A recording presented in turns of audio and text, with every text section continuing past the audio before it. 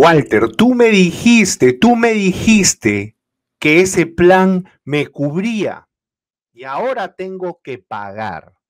¿Sí? Esa es la clásica queja de las personas que me llaman y me dicen, Walter, ¿sabes que A mí mi agente de seguro me dijo que me cubría y ahora yo tengo que pagar.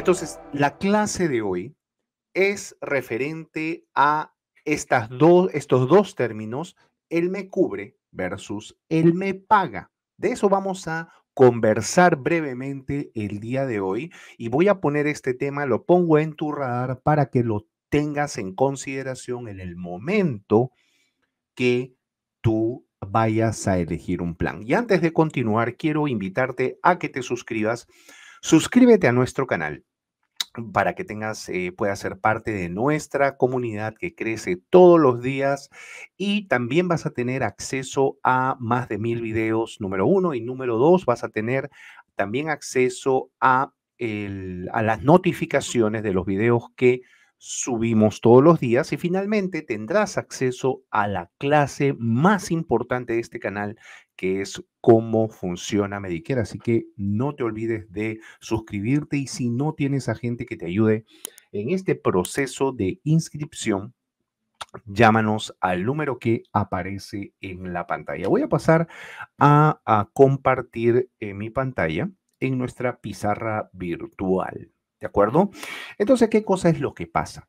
Hay una, lo que tenemos que entender es lo siguiente, ¿sí? Cuando tú hables con tu agente, no es suficiente que tú, esta palabra, por ejemplo, es muy genérica, me cubre. ¿Y me cubre visitas al doctor?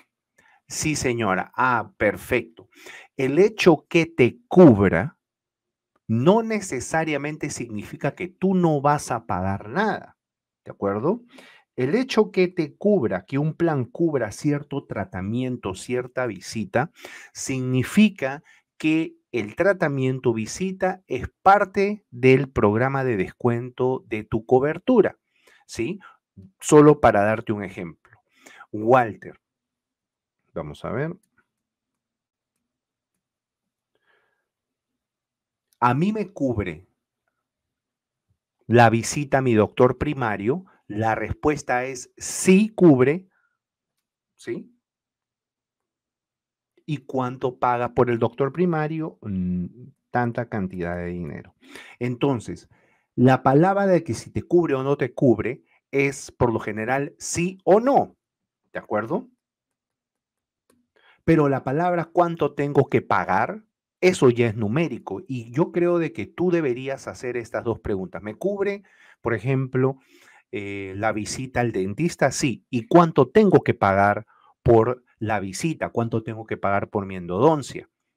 ¿Me cubre quimioterapia? La respuesta es que sí te cubre, pero ahora es cuánto tú tienes que pagar, ¿sí?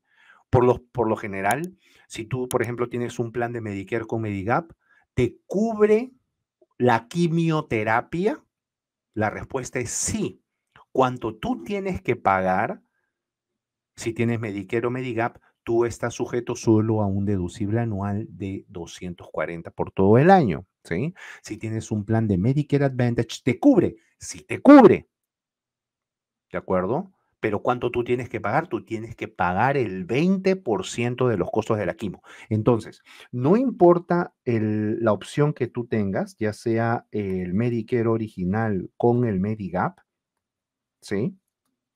Medicare original, Medigap, porque cuando tú cumples 65 años tienes dos opciones. O te vas con el Medicare original que cubre por lo general el 80% y el Medigap que cubre el otro 20 o eliges un plan de Medicare Advantage. ¿De acuerdo? O eliges un plan de Medicare Advantage.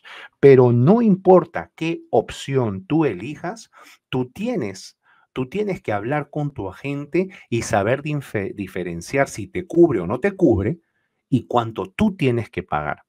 Porque, ¿qué sucede? Mucha gente, eh, estamos recibiendo llamadas de personas que trabajan ya con otros agentes. A mí mi, agente me, dijo de que sí me cubría y ahora tengo que pagar.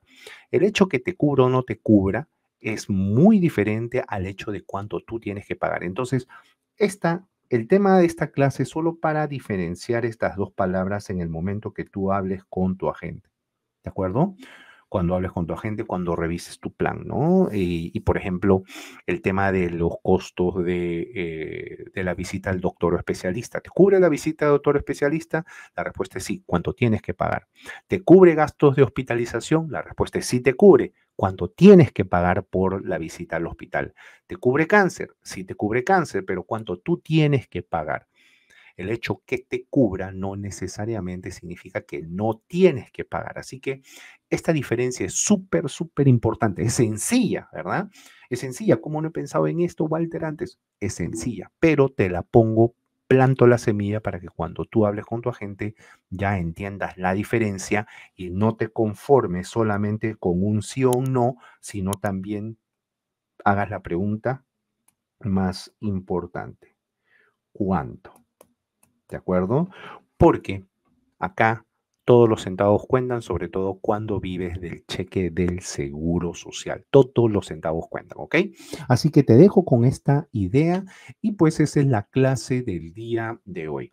No sin antes invitarte a que te suscribas, suscríbete a nuestro canal y si necesitas a gente, con mucho gusto puedes contactarnos al número que aparece en la pantalla.